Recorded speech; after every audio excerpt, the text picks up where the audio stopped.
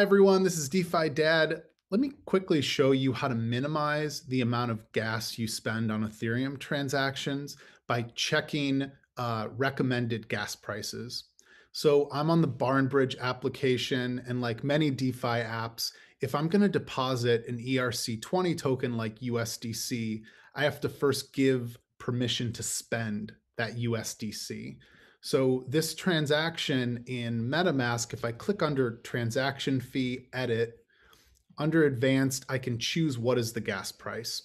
Now, the higher the gas price, the faster the transaction will go through. The lower the gas price, uh, the slower or more time it might take for it to be confirmed on the blockchain.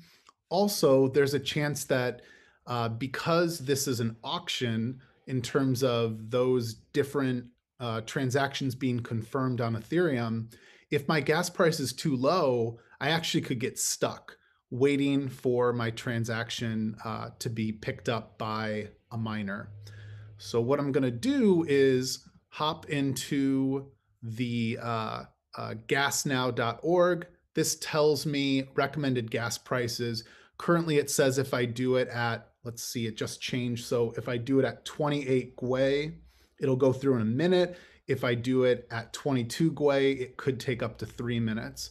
I also tend to check the Etherscan gas tracker and also ethgasstation.info. So these are all different uh, uh, resources to use.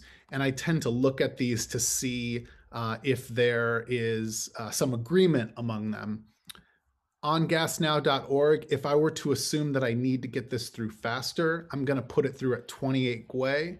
So if I go back to Barnbridge, click on MetaMask, I'm going to edit this so that it is 28 Gwei.